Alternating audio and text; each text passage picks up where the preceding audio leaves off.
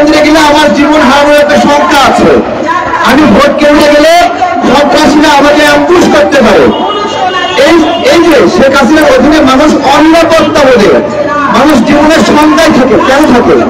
কারণ ভোট কেন্দ্রগুলোতে আম ফ্যাসিবাদরা নকল লাইন তৈরি করে কৃত্রিম লাইন তৈরি করে। আমরা যে ছোট ছোট লাইন দেখি, এগুলো ভোটারদের লাইন নয়, এগুলো ভারতের গুন্ডদের লাইন।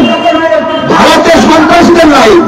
তাহলে যে ভোট কেন্দ্রে ভারতের সন্ত্রাসীরা কৃত্রিম লাইন তৈরি করে রাখে মানে পর্যায়ক্রমে ঘুরে এসে ঘুরে এসে দিন ব্যাপী কান্না করে ভোট দেওয়ার জন্য।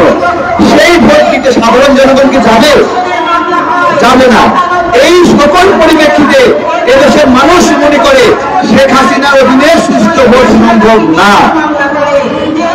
আর যেই নেত্রী আপনারা সবাই স্লোগান দেন, ভোট চোর ভোট চোর। আরে শেখ হাসিনা তো স্ত্রীলিঙ্গ। বলতে হবে ভোট চুন্নি। ভোট চুন্নি বললে এক্স্যাক্টলি ওনাকে দিয়ে লাগে। আপনারা কেন বারবার করেন চোর চোর, ভোট চোর, শেখ হাসিনা, ভোট চোর। বলতে হবে চুন্নি চুন্নি, ভোট চুন্নি, শেখ হাসিনা, ভোট চুন্নি। ভাষাগুলি চেঞ্জ করতে হবে। ঢাকা বিশ্ববিদ্যালয়ের একজন শিক্ষক আমাকে বলেছিল, প্রচুর পরিমাণে শেখ হাসিনাকে গালি গালাজ করো। জনগণ যতদিন পর্যন্ত খিস্তি দেবে না, ততদিন পর্যন্ত শেখ হাসিনার পতন হবে না। ভদ্র ভাষায় ভদ্র লোককে বলা যায়। যেই লোক বিরোধী দলের নেত্রীকে সেতু থেকে থানায় দেওয়ার খায়েস রাখে, যেই লোক নোবেল পুরস্কার করতে ইন্দু সাহেবকে সেতু থেকে থানা দেওয়ার খায়েস রাখে, তাকে খিস্তি দেওয়া ছাড়া কি ভাষায় গালি দেওয়া যায়? বলেন আপনারা, এই বিবেচনাগুলো আনতে হবে। এখন সময় আসছে। আমি আপনাদেরকে বলি যে এই সময়টাতে ভারতের দিকে নজর রাখতে হবে। কেন নজর রাখতে হবে? আমাদের চারপাশে এই হিন্দুত্ববাদী ভারত বিলম্বন করছে। এটা যদি মধ্যপ্রাচ্য হতো, আপনি রক্ষা পাইতেন।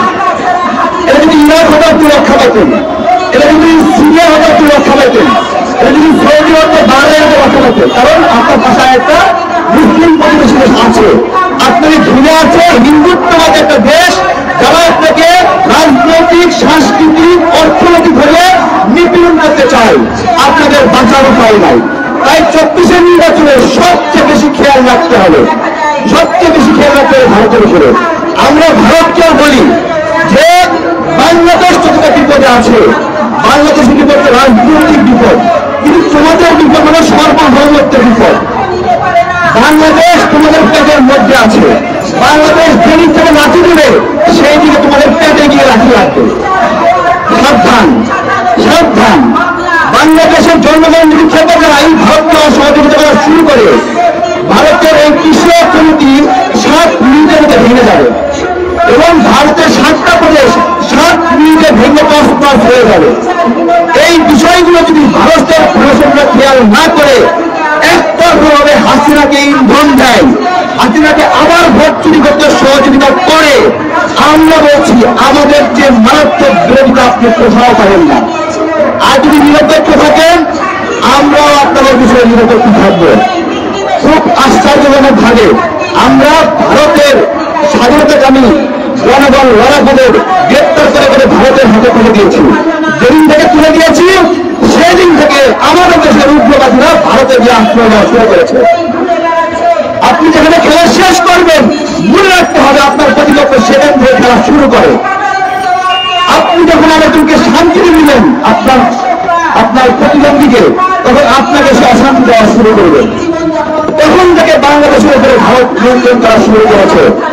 এই জাতীয়তাবাদের নিয়ন্ত্রণ থেকে মুক্ত হতে হলে শুধু হাসিনার বিরুদ্ধে নয় যারা বাংলাদেশের উপরে আগ্রাসনের স্বপ্ন দেখে তাদেরকে এই আগ্রাসন থেকে মুক্ত দিতে হবে আমার বাংলাদেশের পুঁজি থেকে সীমান্তে হত্যা হলে আর ভারতের হাই কমিশনে গিয়ে গোপনে মিটিং করলে এই সকল তেলবাস থেকে সাবধান হতে হবে।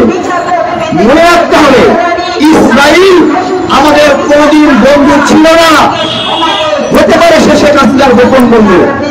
এবং এই ইসরায়েলের সঙ্গে যারা গোপনে যোগাযোগ রাখে, তারাও শেখ হাসিনার গোপন বন্ধু। যারা জনগণের উপরে ভর করে ক্ষমতায় যাওয়ার ক্ষমতা রাখে না, যাদের ওই হিম্মত তৈরি হয়নি, তারা ওই ইসরায়েলে গিয়ে ভর্তি পরামর্শ করে, রয়ের সঙ্গে গিয়ে বুদ্ধি পরামর্শ করে। কারণ তারা অসৎ। আমরা বেঁচে গেছি। এখানে অনেকে আতঙ্কে ছিল। আজকে মহানগরের মধ্যে যে মানুষগুলো এখানে এসেছে, একটা লোককে জোর আসতে হয়নি। ধন্যবাদ জানাই ইসমাইল রঞ্জন সহ আমাদের মহানগর নেতৃবৃন্দকে। আপনাদের এই উপস্থিতি আমাদের পরবর্তী উত্তরের প্রোগ্রামেও আরও ছড়াবে এবং তার পরবর্তীতে হবে আমাদের কেন্দ্রীয় প্রোগ্রাম। আমরা সেদিন দেখিয়ে দিব। আমরা লোক সংখ্যা দিয়ে গণনা করি না। আমরা সংগঠিত হচ্ছি।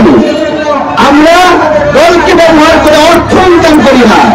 আমরা দলকে অর্থ ব্যবহার করে গাড়ি কিনি না। আমরা দলকে ব্যবহার করে বাড়ি করি না। আমরা দলকে দেই। গতদিন আমার সহযোগীদের সঙ্গে আলাপ করেছিলাম যে আমরা কত টাকা দলে দিলাম। তো সে হিসাব করে বের করেছে শুধু ফেসবুকে আর্নিং ছিল আঠাশ লক্ষ পঞ্চাশ হাজার টাকা। আমি বললাম, বের করো, বাড়ি ভাড়া কত দিয়েছি?